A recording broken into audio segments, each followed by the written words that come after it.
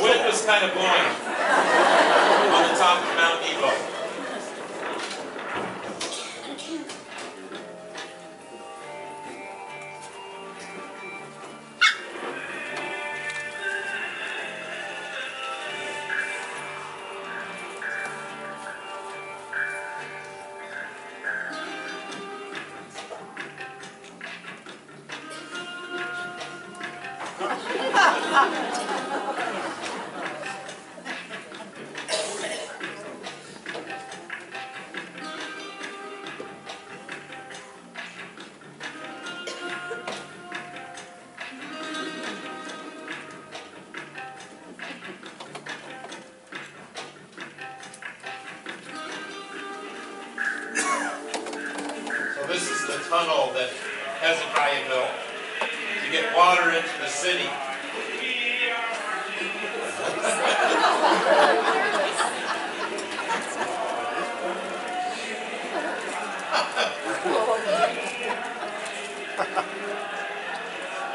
That's Evie making her way through, I think. Yeah. Try to listen carefully.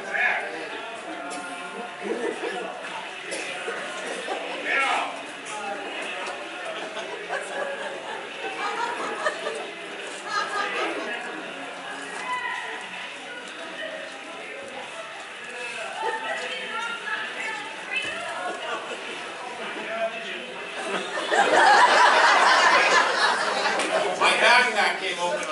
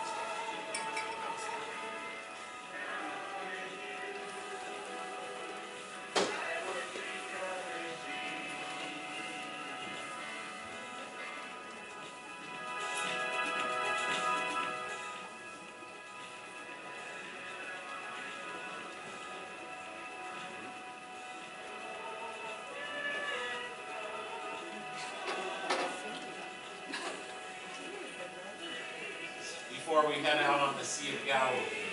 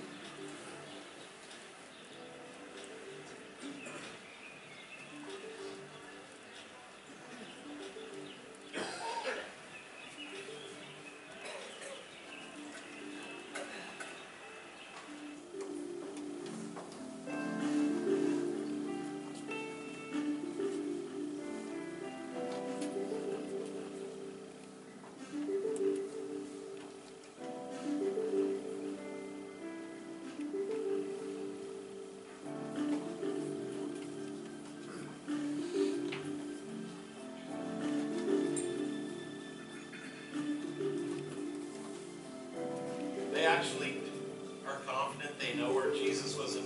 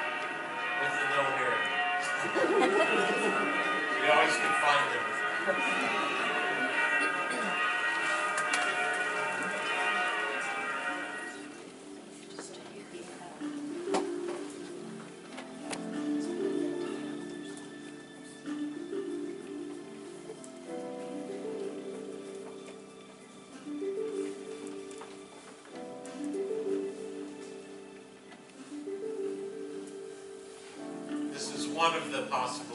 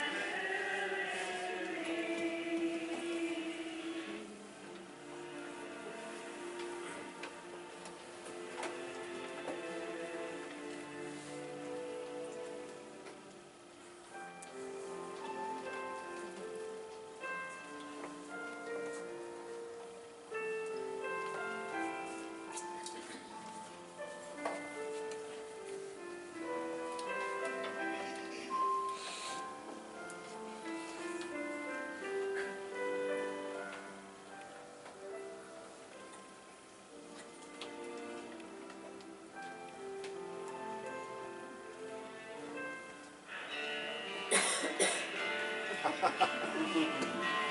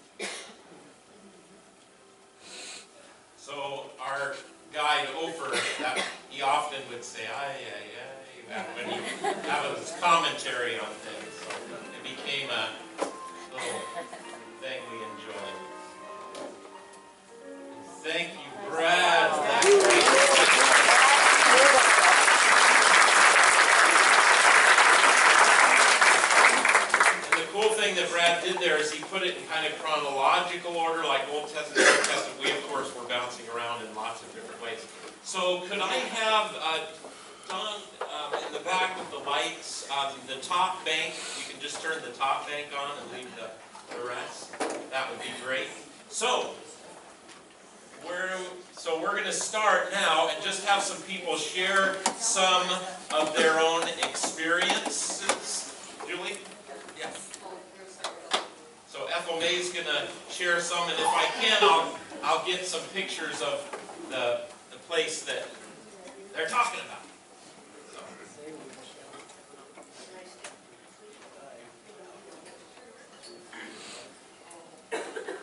Well, it was quite an experience, but for those of you who like to shop like Julie does, it was a disappointing experience. We were told when where to shop and how long, and that's it, boys and girls. But many of us managed to leave a hot credit card in our track anyways. Um, But we used the time wisely. I was reviewing our uh, itinerary yesterday, and um, It didn't exactly follow the plan, but we saw everything and more that was on the plan. So it was really very good. I'd like to talk about the Sea of Galilee, um, because a lot of Jesus' ministry is done around the Sea of Galilee, and it was just so special to be there. Although, I found it depends on what kind of Sunday school paper you had when you were growing up.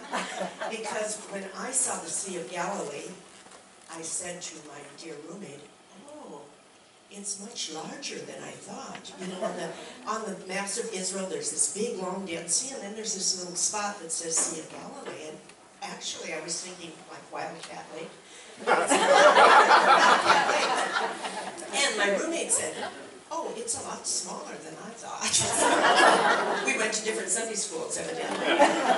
But it's a really important place and we saw just wonderful things. Um, South, in Jerusalem and south, the landscape was very bare looking, uh, very tan, just rock and not much vegetation. But up north, uh, they have a lot of fruit and vegetable farms and it was just very beautiful and lovely. And around the Sea of Galilee, it was very, very pretty and just being at the sea. And the first thing we did was to have the affirmation of baptism.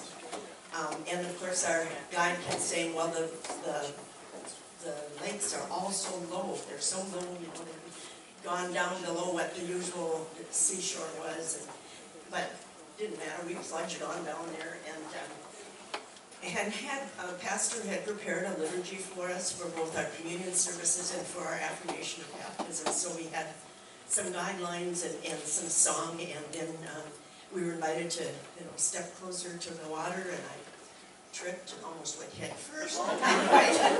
And uh, Julie and I splashed water on our faces with great joy, and, uh, and really, it was a a wonderful thing to do. And then we um, went around more of the Sea of Galilee, and we stayed in Tiberias and for two nights and uh, saw things in the outlying area. But the day after our affirmation of baptism, then we did ride on the Jesus boat, and we all got a certificate pretty uh, picture there.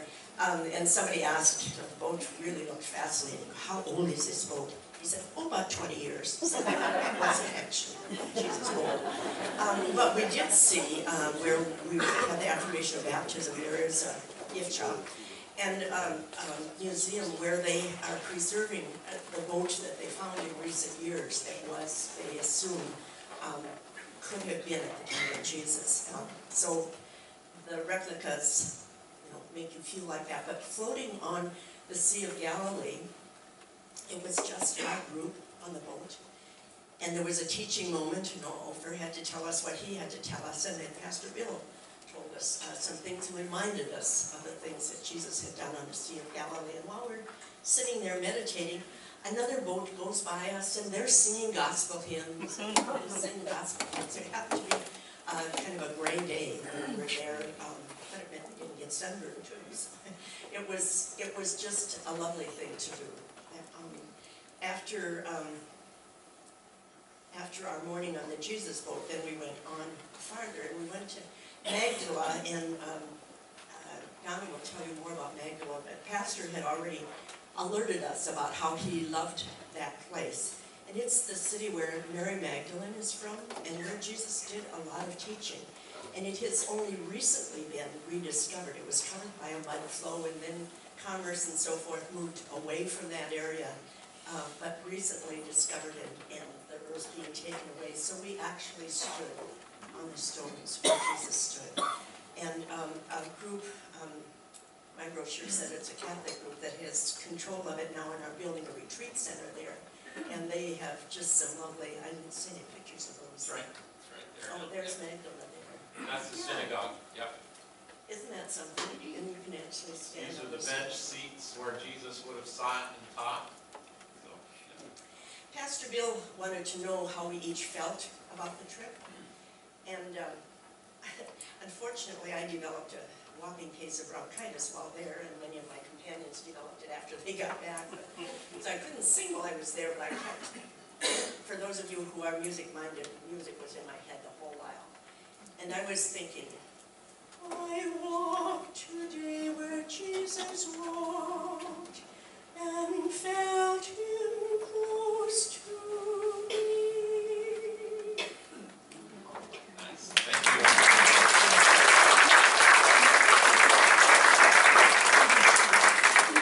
Well, first of all, um, I have no idea, Let's just stand right here. Okay, you have no idea how hard Pastor Bill worked.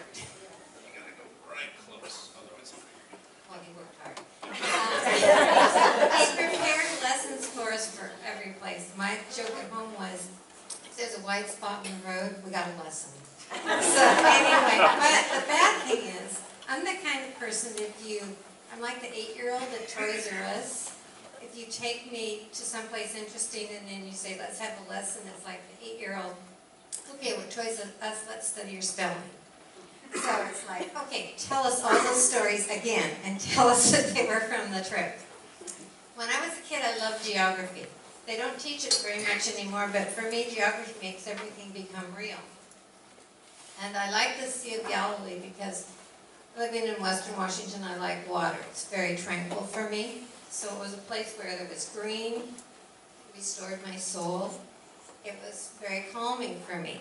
And um, we stayed in Tiberias. That was our home base. And we went from Tiberias to Magdala. The thing I wanted to say about Magdala is they have a wonderful worship center there. They have combined modern with traditional art, so they've created mosaics in these little worship rooms that are simply spectacular. And then you go into the main worship center, and you have a boat for an altar. And the front of it is blue gra blue glass. And then behind it is a reflecting pool. And behind that is the Sea of Galilee. And it's just like this extension of it. It's simply beautiful. And um, I have a friend who's a lapsed Catholic, and there was a picture down in the bottom worship place that was a woman touching Jesus' garment and being healed. And um, she couldn't take her eyes off that picture. That was the most moving picture to her.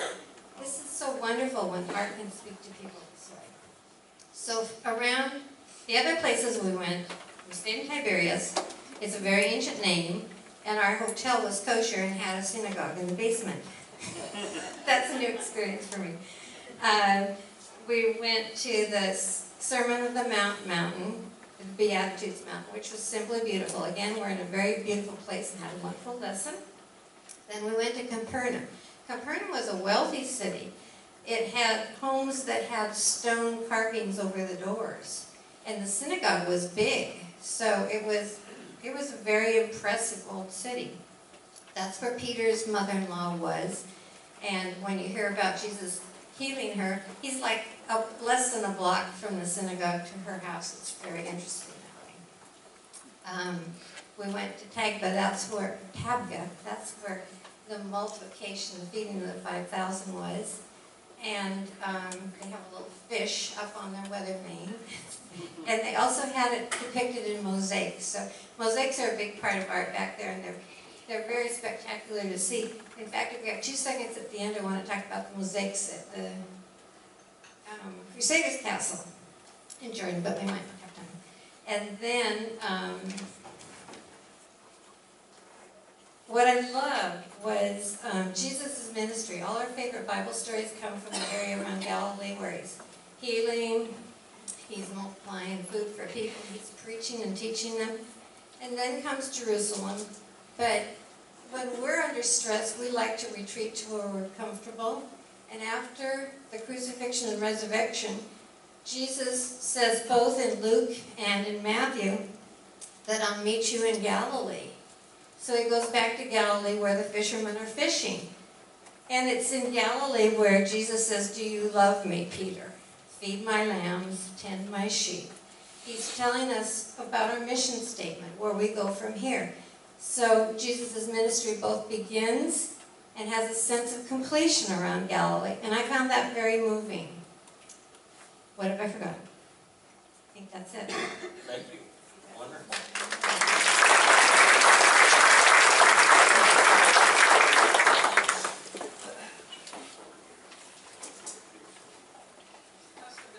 Yes. That was Donna Hammergren. This is Stephanie Taft. Am I here? Yep. There we go. Okay, I'm going to speak about Jerusalem. Jesus, fully God, fully man, and so hard Real for close, us real close. To comprehend with our minds alone. When you visit Jerusalem, the people, the culture, your senses, your imagination, your heart, and your soul will help you to understand more about who Jesus is. Our journey began looking down from the Mount of Olives at the panorama of Jerusalem below. As we walked from the Mount of Olives down the steep Palm Sunday Road, I imagined Jesus being welcomed with palm branches and cloaks during his triumphal entry into Jerusalem on a donkey. This day there was an old bent man in a black robe who was begging, alms for the poor, alms for the poor. As we continued down the hill, we came upon a Jewish cemetery. When someone visits a tomb here, they leave a small stone symbolizing their hope for the rebuilding of the temple. It made me think about the temple of Jesus' body being raised up. A bit farther down the road, we entered the Garden of Gethsemane and gathered together among the ancient olive trees, maybe a little like the twelve when they gathered there with Jesus. Pastor Bill taught the word, and we celebrated Holy Communion there in the place where our Savior prayed and where he was betrayed.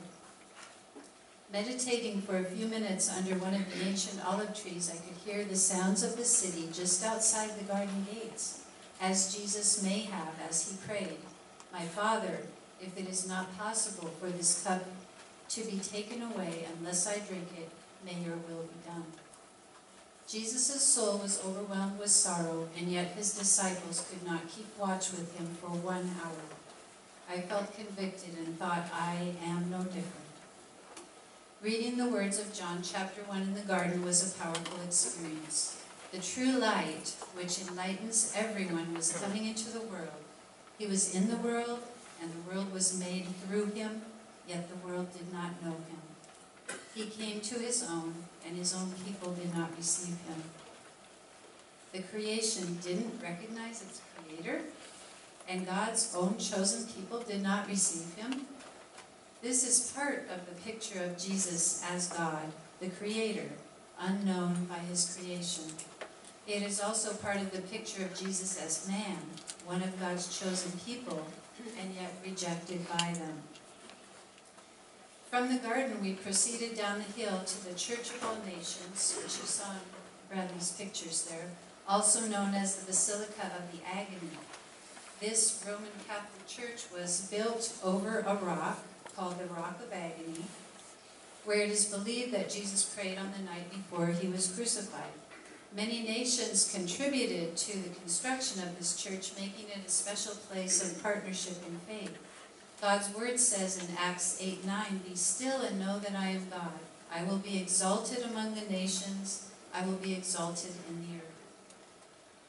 Continuing our walk, we came to the pools of Bethesda, where Jesus healed a paralytic who had been an invalid for 38 years. Such an amazing miracle for this man and the onlookers. And yet, the Jews persecuted Jesus for doing this great miracle on the Sabbath. Thanks to our knowledgeable tour guide, we learned about Jesus' Jewish culture and the many laws that the Jewish people lived by. These understandings helped us to appreciate the difficulties Jesus faced when introducing his new ways of thinking. God's plan for salvation continued with Jesus being tried on the pavement and then sentenced by Pontius Pilate to death on the cross. Jesus then walked the Via Dolorosa, or Way of the Cross, through the old town, carrying his cross, falling under the weight of it, and even consoling lamenting women along the way. We walked this sorrowful way as well, imagining what it was like for our Savior and being so grateful to him. Although many believe that the Church of the Holy Sepulchre is the place of Jesus' death, and resurrection, I felt very connected to these events at Golgotha and the Garden Tomb.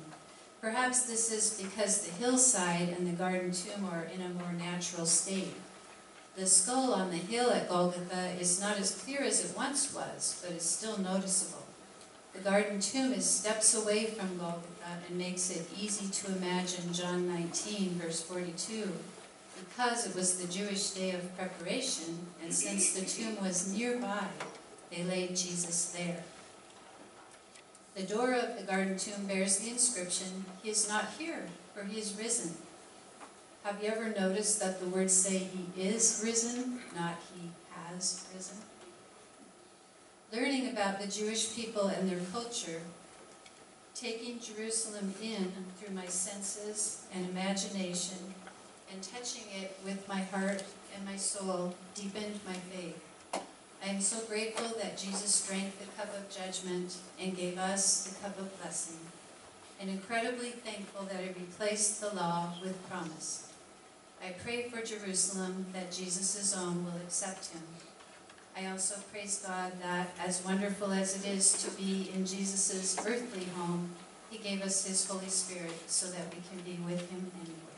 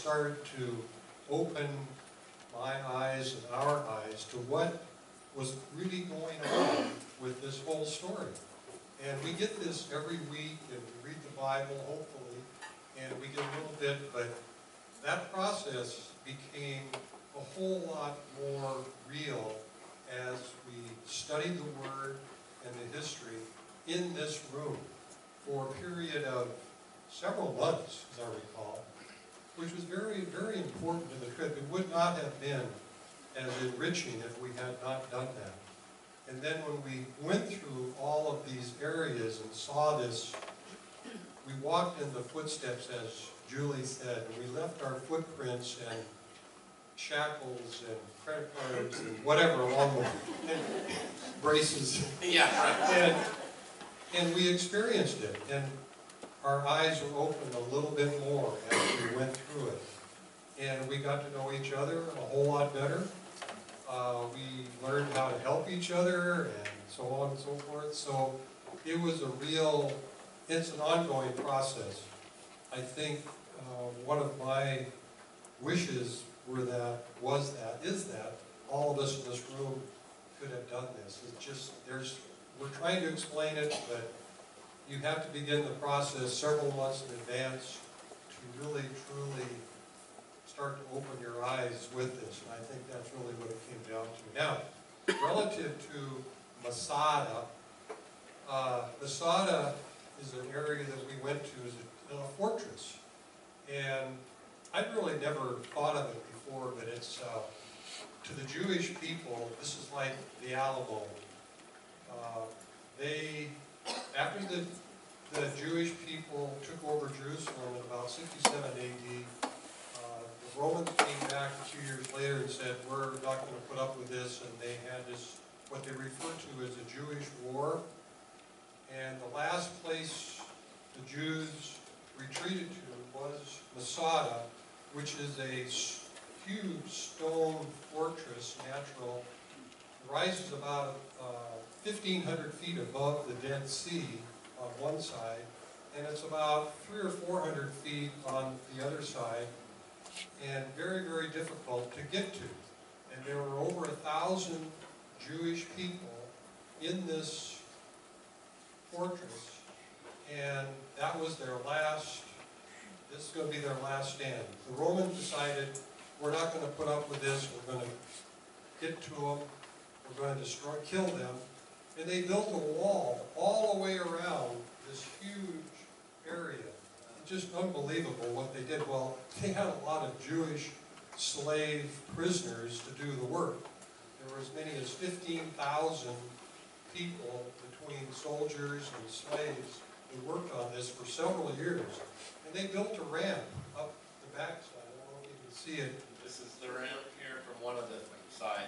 And they did this slowly, it took time, and, and uh, when the, according to the stories, when the Jewish people in Masada learned that the people building this ramp were Jewish slaves, they were very reluctant to try to kill these people in building the ramp, even though they knew that when that ramp was done, they were done. They all knew that when the Romans conquered, they killed everybody. Just about. If you weren't killed, you were a slave. It was not a happy ending. So they continued this, and eventually they did, they actually pushed up this big battering ram. They entered the, the actual city and found that over nine hundred Jewish people had committed suicide. And they committed suicide rather than be killed or enslaved by the Ro- Romans. And they also found that there were huge food supplies left over, so it wasn't like they starved to death or didn't have water. They chose to take their own lives, which even today, Jewish people feel that this is something that can never happen again. This is our Olive so to speak. So we had a great, um, and of course, the actual settlement up there was built by Herod the Great, interestingly. It was one of his palaces. And so we walked all through that and saw how that was constructed and, and eventually became uh, the Jewish settlement. And then it was all put into ruins and then not too long ago, it was all taken over again. And we had a choice of either uh, going up on a cable car or walking up what they call a snake trail, which is about a thousand feet. That's Uh, Bill, that's Lisa, And so we took the tram. We could see these trams coming over, and we waved at him, not knowing which tram they were in. Everybody was to see. But it was, it was a good experience. And Stephanie And, and Russ. yeah, Russ ended up being at the end for some reason. He couldn't keep up with us. Thank you, Bill. Excellent. Beautiful. Lois, and you're gonna speak on what? So I can cue it up? Mount Nebo. Okay, great. Oh, that's okay.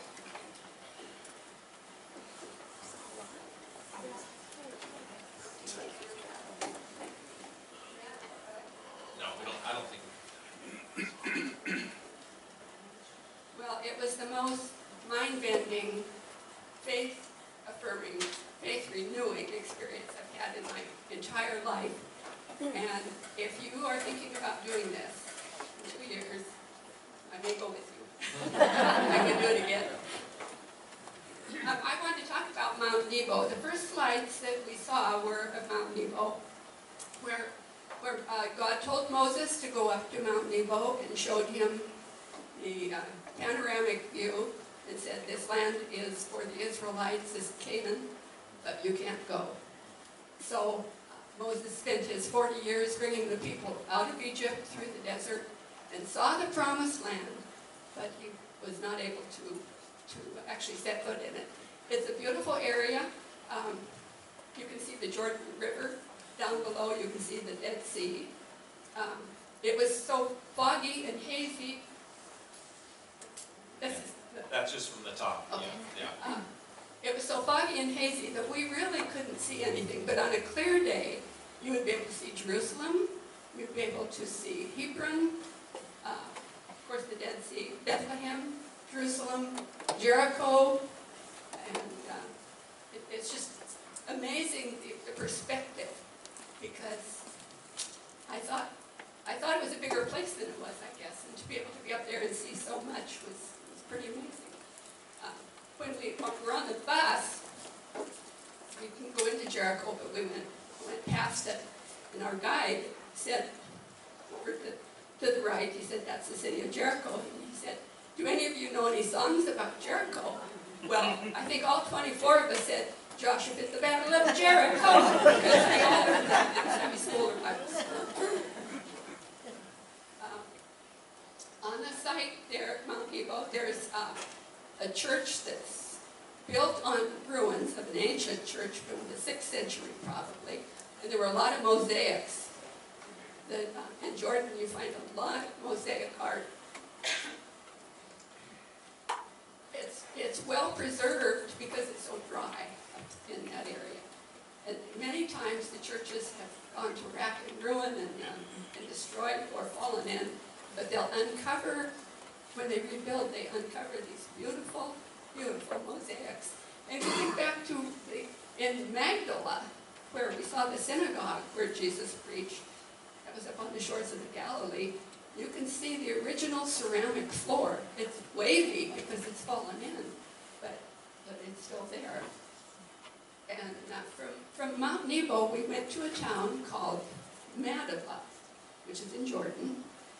And we went to St. George's um, Orthodox Church there. On the floor, there's a partial map of, of the, uh, well, the state of Palestine. It's the earliest known map of Palestine. And I, I have this, if I'll have it later if you want to see it, a picture of what's left of it. In late 1880s, a group of Christians came to, to Madaba to build a church, well, to live, and they could build a church as long as they built it on the site of any uh, an existing church. So they dug down through the ruins and they found this in the floor, this mosaic map.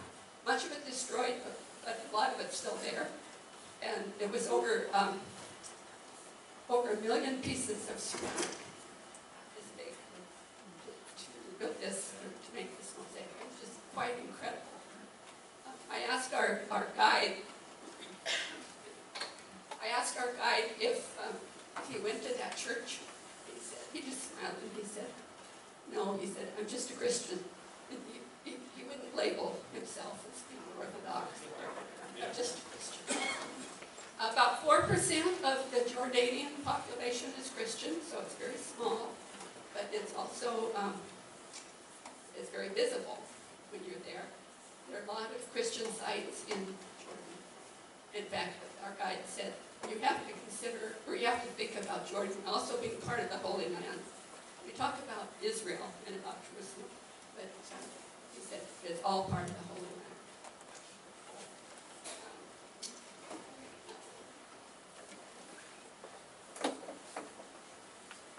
That's about all, I guess.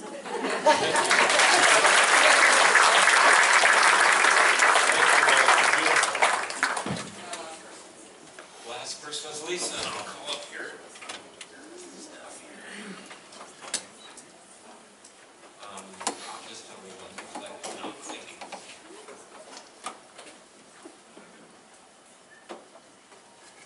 Almost there, Lisa. Right here.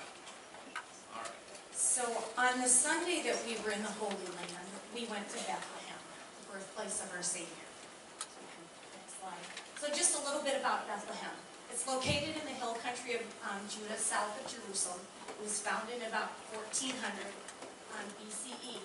And today, the city is surrounded by two bypass roads, leaving the inhabitants squeezed between 37 Jewish, Jewish enclaves, where a quarter of all West Bank settlers roughly 170,000 of them live. And the gap between the two roads is closed by an eight-meter-high Israeli West Bank barrier, which cuts Jerusalem off from its sister city, Jerusalem. So when we went there, we had Ofer as our guide throughout um, Israel and Jerusalem. We had to get a different guide when we went into the um, into this territory because it's under Palestinian control. So. So this is just a picture of kind of the, the, the town or the, the, the city of, of Jerusalem, New, uh, Bethlehem, New Bethlehem.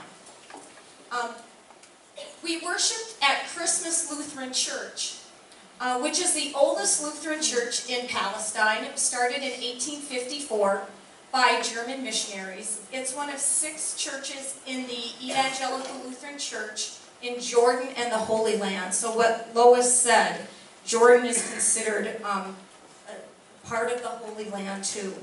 Its primary, it has 200 members. Its primary language is Arabic, and the service was held in Arabic, although it, we did sing some songs in English, and Pastor Bill did a reading in English. The church was um, constructed 1886 to 1893. There are 14 stained glass windows that are original, um, and the writing on them is in German. But 20 years ago, they painted the cupola or the, the, the center, inside center of the church 20 years ago. This is a picture of the outside of the church, beautiful stone building. And this is the inside. Um, very nice and, you know, Lutheran churches to me are just very um, majestic in that they don't have, they're not ostentatious at all. And this church was not in any way. But this is the cupola, and it's, it, there's a phrase in Arabic. Anyone know what this phrase is? Sure. Well, I saw this, and I had had some struggles kind of connecting until I looked up and I saw this, because this connected us, and worshiping in this place connected us to the Christians throughout the Holy Land. Glory to God in the highest, peace on earth, goodwill to men, is what that says in Arabic. This is where God became flesh, where the Word became flesh in the birth of our Lord and Savior. Not at this church. I'll talk about a little bit about the um, Church of the Nativity. This is um, um, Mr. Nacer, and I think Julie was it. I took this off of, of the Facebook page, but this is the Bob Green on Christmas. he was he was the main usher, so. And we had a wonderful time with the um, with the members afterwards in their fellowship hall, talking talking with them and visiting with them. This is Isa. He was our um, tour guide for the um, four hours or so that we were in Bethlehem. Um, we had three main tour guides. We had Ofer in in in Israel and Jerusalem. We had Isa in Bethlehem, and then we had Sam in Jordan. And Isa was probably the less opinionated of all three of them, probably because we just didn't have that much time to spend with him. Is that it? No, there were more. There were more, I must not have got them. I'll, I'll find them. Okay. Go ahead. Um, the other thing I wanted to talk about was pictures of the Church of the Nativity. So the Church of the Nativity is the oldest functioning church in the world. It has been functioning as a church for over 1,700 years. And it was um, built in approximately um, 326, 327 AD by um, Constantine and his mother Helena um, based on what they were told was the site of Jesus' birth. I don't know if you remember some of the other pictures, but you, um, it- it's built on a cave. You go down into this area um, where the birth is reported to be, and there's an altar there, and there's a bunch of ornamentation. Um, the thing about this church is that it's controlled by four congregate, four different um, religious congregations: Roman Catholic, um, Greek Orthodox, um, Syrian, and I think Armenian. And I was reading some stuff about it, and they said that oftentimes they have disagreements over the control of the church, and they've had to call the police in to settle some physical, physical fights about it. So that's going down, Pastor Bill and Ace going down into the, into the um, cave area. And that's the site. You know, I have it in my heart for children. I'm a pediatric nurse practitioner. Um, I know Julie has children in her heart too. To be there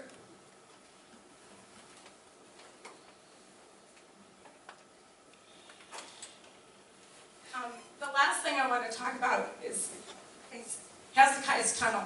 There was, this was probably one of the funnest things I think we did, at least for those of us who went through the wet tunnel. I don't know about those who went to the dry tunnel. But um, it, it- Hezekiah's tunnel is, is dug into this um, area over the city of David in Jerusalem. And it, and it runs between the Gihon Spring and the Pool of Shiloah or Shiloh or Siloam. And its purpose was to deny water to the Syrian army that was expected to lay siege to Jerusalem to provide a water and to provide a water source to Jerusalem during that siege. It's about a third of a mile in length, and it has a um, less than a one percent gradient, but there is a little bit of a gradient so that the water flows its length from the spring to the pool. And the tunnel was discovered in 1838 by the American biblical archaeologist Edward Robinson. This is kind of a, a, a cut through of it, so you can see how far we were underground going through this tunnel. This is Russ, our tour director um, with Base Space Expeditions. Russ went through the dry tunnel. But if ever I felt blessed on this tour and that there was a godsend and that God was watching over us, it was having Russ on this tour with us. Um, and I'm not going to go into details of, of why that was, but he, he saved us. um, oops, I don't know what happened. Oh, there it is, the entrance to the tunnel. That's Pastor Bill, this is evidence, Pastor Bill, that your backpack was open Oh, before you went in the Oh, no. tunnel. I have photographic evidence. that's bad. This is, this is, um, I think that's probably Bill Yoakum. There were some points in the tunnel, the tunnel was so narrow that the, some of the guys had to go through sideways. Um, there are areas where it's so low that you have to bend over. I didn't have to bend over as much as Bill and Tom did. Um, you know, we, we reaffirmed our baptism at, um, at the Sea of Galilee, but for me, um, this was reaffirming my baptism because I I have claustrophobia and there was a great angst, turmoil here about going through the, this tunnel, but I did it. So, and that's how I felt about it.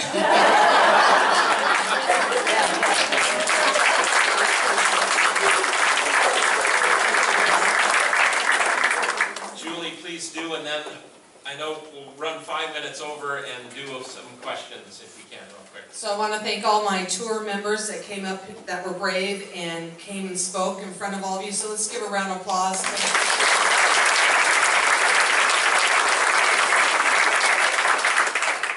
We're going to let some um, questions, but if you are interested, Pastor Bill and I are thinking, it's not absolute, but we are thinking about going again to Israel in 2019 around the same time, end of March, beginning of April, and there's sign-up sheets on the tables, and if you are interested, I will be contacting you again probably next spring. So think about it, pray about it, and hopefully you can join us again if it all works out, 2019. Beautiful. Thank you, Julie. And thank you to Julie because it was part of her and the devotion team back uh, a number of years ago that got this whole thing started. So let's take a few minutes, but before I, so I don't forget, Ace uh, also scooped up some soil from the various sites that we were, and he's willing to give that, you know, some of you that might be meaningful. Um, there's a little thing here you can sign up, and he will get you some some of the soil from those places, because I know some of that, sometimes that's really helpful and cool. So I wanted to mention that. Questions that jump to mind? Um, anything, everything, please. Yeah, um, when, well, let's see. Mike. There we go. Okay, so when we read scripture of places that Jesus was, where he uh, did miracles and things, or where he just spoke on a mountain top Right. Beatitudes, Right? um, you know, we picture in our mind just out in a bare place, um, or, you know, nothing special. But of course, what exists now in those places that they've identified where he was, they've built um, Churches and Yeah. and things. Yeah. And so that, of course, is a different picture. Um, how do you, how did you feel about that? Yeah. Um, I'm not saying that it's wrong, I'm not No, making got a judgment on it, but it's just different than what we picture in our head when we read scripture. So the real quick answer to that is some of the places like the Mount of Beatitudes, we don't know exactly where it was. So you could go outside and be on the hills that might have been there. Um, as Lutherans, we're not quite into the shrines that maybe some other other traditions are. Um, so it was a combo for me, um, and I think for a lot of people, um, to see the reverence for people about these sites and how, like, the, where Peter, where Jesus got out of the boat in the Sea of Galilee and cooked breakfast, there's this rock, and, you know, they don't know for sure, but I mean, it's like, well, this could have been it, you know, and so you do get, you, you kind of get both. I would say I got both. Um, the sites do sometimes take away from it, like you go in the Church of the Holy Sepulchre, and it's beautiful, but you, the Garden Tomb is much more like what it would have been. And so even if that's not the place, it's, you have more of that experience. But then you see the people, you know, kneeling and touching the spot where the cross was, which is also in the Church of the Holy Sepulchre. And it just, it does something to you. So that would be my quick answer. It's a great question. Other questions? Yes, Lisa. Kyle, how, how long did he come before Jesus? 600 years. It's one of the, the great engineering feats of the world that they did at that time. No compasses, no GPS, just they met, they went from both two sides and they met in the middle. And uh, so it's, it's a, a pretty amazing thing. Julie? When we stood on the two thousand year old steps of the Yes. temple, Good point. Um, we knew that was probably the path when he came down Mount of Olives up in the Kidron Valley and up the- to that gate, that's, those are the steps. That's a he great- on. Important thing, the, the synagogue in Magdala, you know Jesus would have been there, the western steps going up into Jerusalem, the place where he was imprisoned. Um, there are quite a few that, you know, you, you know, the, the pools of Bethsaida, they, you know, they're way down below because that's where Jerusalem was back in, you know, two thousand years ago. But those, so there are some places that are more authentic, so. But there's no question, the tourism part of it is a ch- challenge. But I think that was where our work really paid off ahead of time. Uh, please, please. Why did she want proof that your backpack was open? I said that I had it shut and the cave pulled it open. I was sure of that. Uh, You're pointing somewhere, I don't know where you're pointing. Just that most of these sites that are chosen as the sites were nailed down about 300 to 327 AD. Great point. So what Kevin is mentioning is that when, um, I think Helena was her name, the mother of Constantine, um, when she, she had become Christian before the, the emperor did, um, she then went out and went researching on all these sites. And, and so, so that's why a lot of them are, um, you know, where they are. It's the research that she did. So, so a lot of people trust it more than others, but um, I think, anyway, helpful. Right here, Chris. Yeah, go ahead, Chris. Okay, so I think, uh, I can't help but thinking back to Pastor Bill's sabbatical last year, when he was in Ireland standing in front of that ancient text of the Bible and just crying. and Right, Just right. really brought to tears. So I know some of you from the tour we've heard of that kind of really connected moment or that moment that brought you to tears. So maybe some of the other ones that we didn't hear from. Yeah, What anybody was want your to, kind of please, brought to tears moment? please. When we, uh, this tour company is great. They know how to put on a show. When we came up the road from Jericho into Jerusalem, Jerusalem is really in the hills. And you come up this road along, you know, rock boulders, and all of a sudden, uh, they started playing music. And it was, uh, the Holy City, Holy City. And we came up, we made the turn, this music is playing, and there's Jerusalem before you. And it, it brought me to tears. I mean, it reminded, that song reminded me of, uh, anthems that the choir sang when I was a child, my mother sang, and I thought my mother would really have loved it. Um, what, one or two others, a short, what brought you to tears, real quick, and then unfortunately, we're gonna run out of time. Yeah, Bill? Well, we forgot one important thing, and I don't know why the photographs weren't shown of the Dead Sea. Yeah. And it did bring you you to tears. important. A little bit of laughing too. Yeah, why did What happens in the Dead Sea stays in the Dead Sea. You asked for it. Let's see, let's see if we can do it. Yes. Can you shut the light? Alright, that's it. That's it. That's it. Get, get that off of there. Yes, sweetheart.